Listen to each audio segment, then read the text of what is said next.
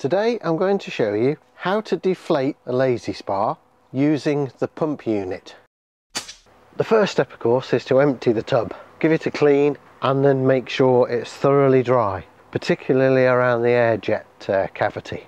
When you first bought your spa and you first unpacked it, amongst the uh, various paraphernalia that you should have found inside the box was this piece and this piece, which would have been together in a small plastic bag. If you put them somewhere safe, well, okay, you probably won't be able to find them again. And you will need the filling hose.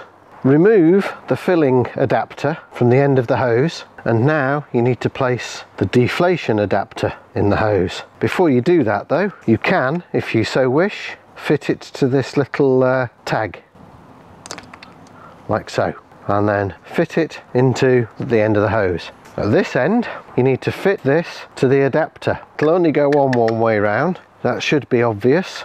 Don't do it overly tight, just snip it down. Now with the pump unit disconnected from the tub, connect this end of the air hose to the massage outlet in exactly the same way as you would if you were pumping it up. Just like that. At the tub, remove the centre cap from the air valve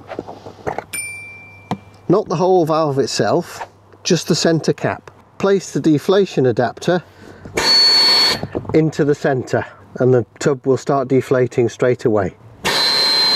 And at the control panel, make sure that the power is on, unlock the control panel and turn on the massage pump. And the tub will now deflate assisted by the pump. Once the tub's been deflated, turn the massage pump off and you can disconnect the hoses now. For those of you who might be wondering, how on earth does that work? After all, the pump pumps air in, doesn't suck. Well, it's physics, Jim. It works on something called the Bernoulli principle, which is designed into this adapter. The airflow from the pump is constricted, which forces the air to go faster. By forcing the air to go faster, it reduces the air pressure inside the device and that sucks the air out of the tub. I'll put some resources down in the uh, description.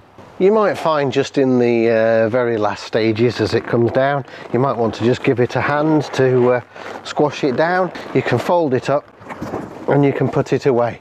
If you got value from this video, please consider supporting the channel and I shall see you next time.